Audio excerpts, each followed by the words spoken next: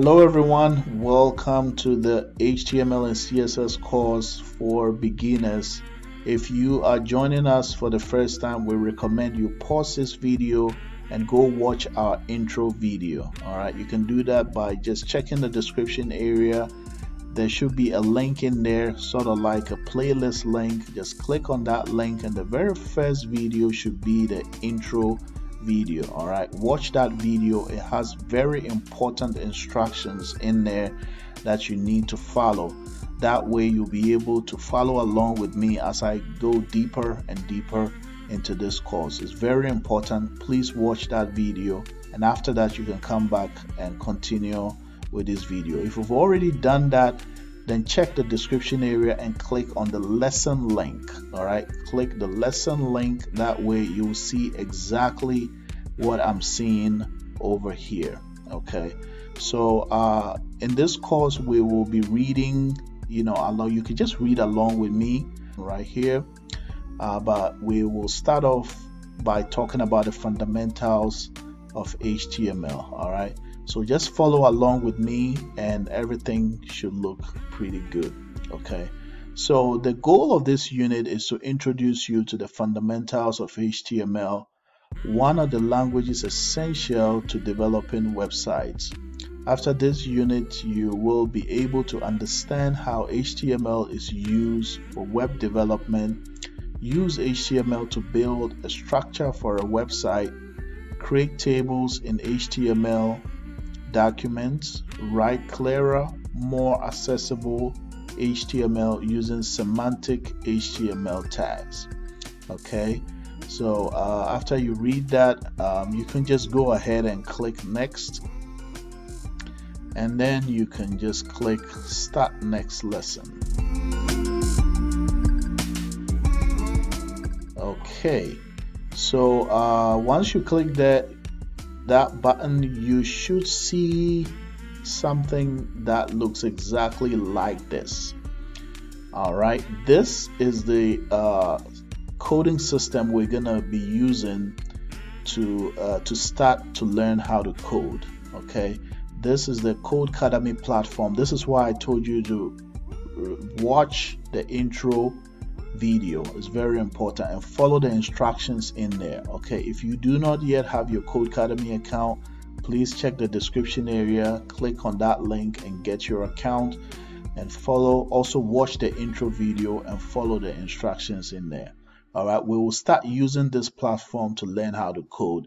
You may not see certain things here but don't worry we're gonna cover everything as we go. So just be patient um, we will start off on this platform. Later on we're gonna build sites outside of this platform okay? We're gonna be looking at like stuff like visual studio code like this something like this right here where you can see other things going on. We will explain everything. So just be patient and follow because this is a course right? So just follow along with us and you will be fine okay so um, we're going to read the text over here on this left hand side. Follow along with me. It says Introduction to HTML. Welcome to the world of code. Last year, millions of learners from our community started with HTML. Why? HTML is a skeleton of all web pages. It's often the first language learned by developers, marketers, and designers, and is core to front end development work. If this is your first time touching code, we are excited for what you're about to create. So, what exactly is HTML? HTML provides structure to the content appearing on a website, such as images, texts, or videos. Right click on any page on the internet choose inspect and you'll see HTML in the panel of your screen okay? So basically what it's saying here is that HTML is a very important part of every website you see online. This is a sample website I built uh, for a retail store in Columbus. And looking at the website there's a lot of HTML going on in the background. Now, HTML works together with CSS to make website look visually appealing. Okay, you can really have one without the other. You can, but in order for the site to look visually appealing, you have to have HTML and CSS working together. Now you can just right click over here and click view page source and you can see all kinds of uh, all kinds of HTML and uh, CSS going on in the background okay? So you can visually see what is going on in the background. Please do not waste time over here uh, or else you might get you know super confused and stuff. The essence of this is just to show you that this nice looking website has some html and css going on in the background okay? Don't waste too much time over here all right? Okay so let's get back to our lesson here uh, over here it says html stands for hypertext markup language a markup language is a computer language that defines the structure and presentation of raw text. In HTML, the computer can interpret raw text that is wrapped in HTML elements. Okay, so this is right here is an example of an HTML element. Hypertext is text displayed on a computer or device that provides access to other text through links, also known as hyperlinks uh, we're going to cover a lot about, or you will see a lot of hyperlinks as we go further into this course. Okay, you probably click on a couple of hyperlinks on your way to this Codecademy course. Learning HTML is the first step in creating websites, but even a bit of knowledge can help you inject code snippets into newsletter, blog, or website templates. As you continue learning, you can layer HTML with CSS and JavaScript to create visually compelling and dynamic websites. But for now, we're going to focus on how to add and modify basic content uh, on a web page, okay, like text, images, and videos. Don't worry if the web pages look ugly, we're just getting started. We're to do this instructions over here. In the code editor to the right type your name in between the h tags then press run okay? So this right here is something called h tag and we've been instructed to just type our name in the middle all right in between it and then hit run and then we're gonna see that the output here says Casey. That's what we typed in. So this H1 does uh, uh, the opening H1 and the closing H1 does not show only the content in the middle it outputs to the console right here okay so um, let's talk a little bit about the h tag okay the h tag is used to define titles on a website okay and they do come in different versions. We have the H1 tag, we got H2, we got H3, it goes all the way to H6.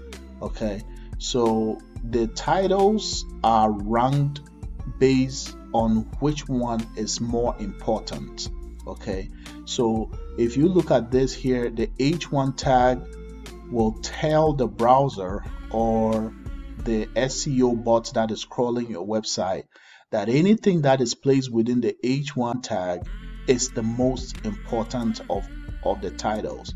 So the a better way to understand this is to uh, let's let's take a look at a sample article here. Okay, so this one here is a is an article about the health benefits of you know banana banana pepper, right?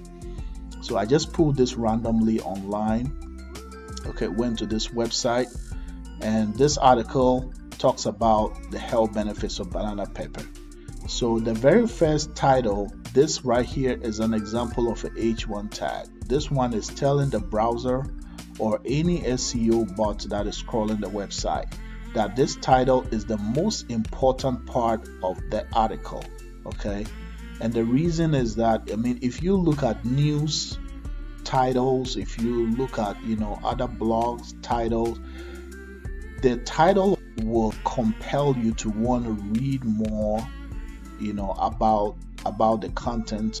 So that makes the title really really important. If you're doing seo you want to make sure you put the most important keywords inside of the title all right now when we scroll down a little further here uh, we can see we're looking for the next title okay?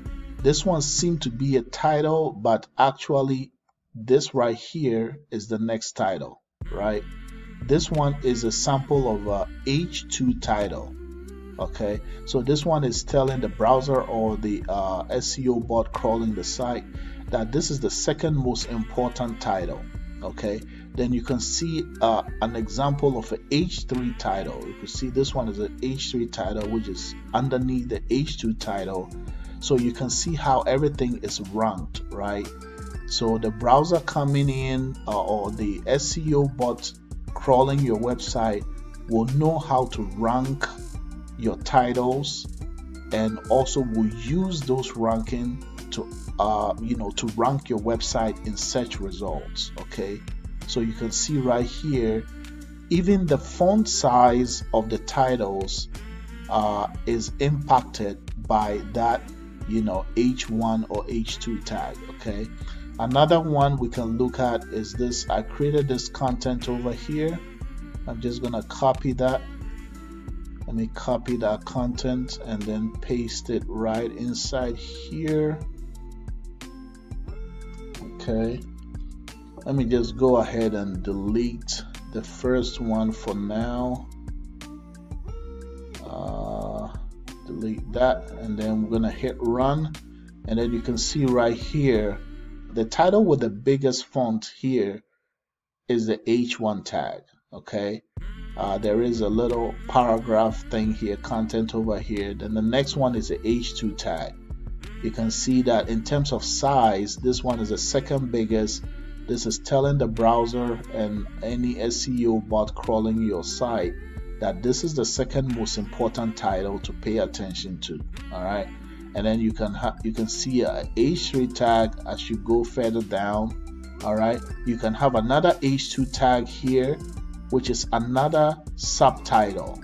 Okay, so you could use this H tags to rank your titles the way you want them based on the importance uh, you know the importance of the title okay all right this this becomes very useful when you're doing SEO okay this is when it becomes really useful. Uh, a good practice is that you need to put um, the most important keywords inside of the titles especially the H1 title all right? Okay so um uh, we're gonna go ahead and move on to the next um, the next part here. This one this one talks about the HTML anatomy okay so HTML is composed of elements. These elements structure the website and define its content. Let's take a look at how they are written. The diagram to the right displays an HTML paragraph element. We as we can see the paragraph element is made up of the opening tag. You can see the opening tag right here the content right in the middle and the closing tag okay so pay attention to the bracket everything that is written here is important okay pay attention to how the uh, right on the right hand side here there is a forward leaning slash right that indicates that the element is closing. That's very important. You're going to be seeing a lot of this as we go further down into this course. You will see that there is a forward leaning slash on the right side of it that indicates that the element is closing, right? Or that's the end of the element, okay? And then inside of it, we have the content, okay? So you got opening tag, content, and closing tag that makes up the element. You can take some time and read further in in here. It's just saying the same thing that I just said over here. Okay. All right. so that will do it for now. We're gonna try to make these videos shorter so we don't get overwhelmed with too much information. All right. So we will pause this video and uh, I will see you guys in the next video. We'll continue with this lesson in the next video.